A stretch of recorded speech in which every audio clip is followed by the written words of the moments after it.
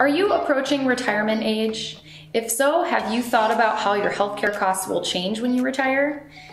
A lot of our clients think that it will be less expensive once they go on Medicare, and that is not, in fact, the case. We're Michael and Shannon. We are with Healthcare Genius. We're here to provide you with the best information on healthcare and retirement. Please subscribe to our channel and click the bell to be notified when we come out with new videos. Shannon, today we thought we'd walk through an example with one of our clients. This is an actual case that, that happened. As you mentioned, a lot of people are thinking when they get close to retirement that Medicare is going to save them money, that they're not going to have to pay as much for health care as they did when they were working. So people look forward to that. Unfortunately, in this example, uh, that wasn't the case. Two things to remember about Medicare. One is that if you work for an employer that is less than 20 employees, when you turn 65, traditionally you're going to have to sign up for Medicare for parts A and B. If you work for an employer that's more than 20 employees, then you can stay on that employer plan in most cases. Unless, of course, you're taking Social Security, then you have to at least sign up for Part A. But uh, we talk about those details in other videos, so make sure you watch those to, to go through all of the uh, fine details of Medicare. Second thing to remember when you're thinking about Medicare is that it's means tested. Parts B and Parts D are means tested. Now, Michael, what does means testing mean and how does it affect most people? Yeah, so essentially, we, we like to think of it, one of our clients coined it uh, the punch in the gut tax from Social Security, but it really basically boils down to the fact that Medicare looks at your income prior to your retirement and they base your Medicare premiums for Part B and D on what your income was. Now that can change from year to year, but the, the initial one is that two years before you retired in most cases. In the case of, of this client of ours, he was the owner of a company, less than 20 employees. He was turning 65 in June was his birth date, so it's like June 12th. So he actually became eligible for Medicare on June 1st. In May, he was on his employer group plan the premium for him was $1,060, but his employer was covering 50%. Basically, he was covering 50%. so he was having to pay uh, $530 out of pocket. But the great thing about employer paid health insurance is that there is a tax break that you get from those premiums when it's paid through what's called a Section 125 plan.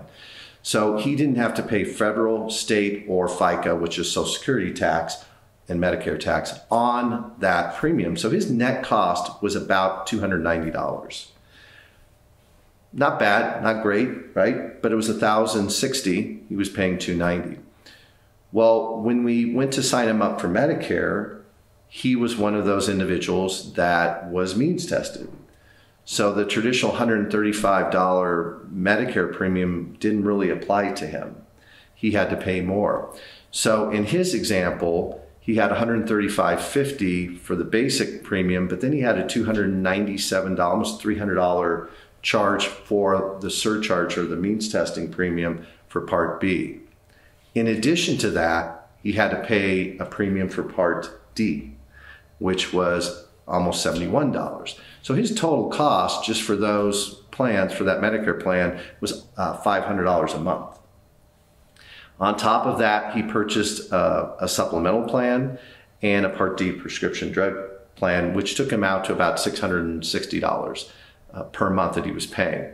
So quite a bit more than the 290 that it was netting him before. Mm-hmm. But what he really didn't realize prior to this was that that 670 to some dollars, 650, 750 was not tax deductible to him anymore.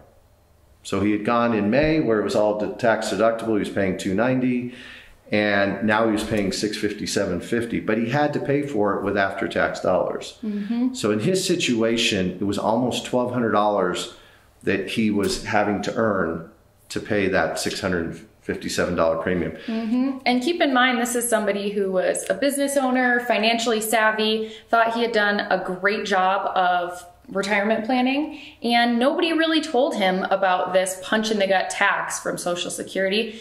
Nobody told him it was going to cost him this much, and it was really, really eye opening and really troubling for him to have to rearrange his finances to account for this huge swing. Yeah, four times the difference, right? 300 to 1200. So, mm-hmm. uh, the, as a follow up, he asked us. He had an employee who was also getting close to retirement, uh, who had been with him a long time, and he said, "Can you do an analysis for her? Because maybe it's just me. Maybe I'm the anomaly here." So we went ahead and did that, and we looked at her situation.